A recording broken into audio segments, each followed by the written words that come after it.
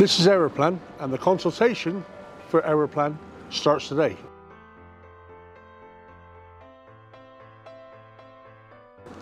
It's hugely important that all of you play a role in this consultation process. It is, after all, about designing the future that we want for the Forest of Dean. We can take easy options, but these are the hard discussions that we need to have to deliver the 7,000 houses the government tell us we must deliver by 2041.